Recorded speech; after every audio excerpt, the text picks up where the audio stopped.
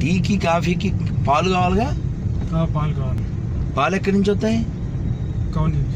అవునా? నీ పిల్లలకన్నా పాలు కావాలిగా? పెద్దోళ్ళకి పాలు కావాలి పిల్లలకి పాలు కావాలి. పాలు కావాలంటే ఆవు కావాలి కదా మరి ఆవును కోసుకు తినేస్తే పాలు ఎక్కడి నుంచి వస్తాయి?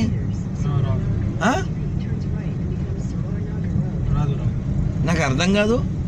ఆవు హిందువులది కాదే బాబు. అందరిది. నీళ్ళు ఎవరై? అందరై. భూమి ఎవరిది? అందరిది. గాలి ఎవరిది? అందరిది. ఆకాశం ఎవరిది? అందరిది. అలాగే ఆవు కూడా అందరిది. ఇది హిందువుల సొత్తు కాదు ఆవు. Cow is belongs to humans.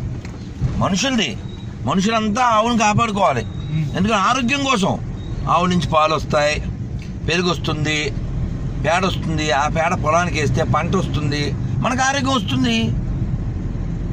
ఆ, హిందువులది కాదు నాయన. కాజా కాబట్టి గోహత్యను సమర్థించకు. గోమాంసం తినకు. నీ పిల్లలకి మంచిది కాదు నీ దేహానికి కూడా మంచిది కాదు. అది ఎంత బాధపడుతుందో. కేరళలో ఒక వీడియో చూశాను. ఒక ముస్లిము నాకు ఫోన్ చేశాడు. చాలా మంచివాడు అతను. ఇక్కడ వెస్ట్ గోదావరి. గురుగారు నేను బోర్ని ఏడ్చాను అన్నాడు. ఏం చేశారంటే ఆవుని గొంతు కోసేశారు.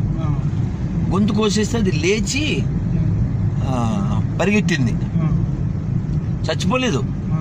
మళ్ళీ దాన్ని పట్టుకుని చంపేసి. ఎందుకు ఒక ఎందుకండి ఇంకో బాధ పెట్టి నువ్వేం సుఖపడతావు? మసాలా వేసుకుని ఇంత తింటావు అంతేనా?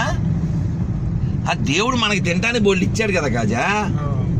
పండ్లు ఇచ్చాడు కూరగాయలు ఇచ్చాడు ఖర్జూరాలు ఇచ్చాడు పల్లీలు ఇచ్చాడు ఇవన్నీ తిను.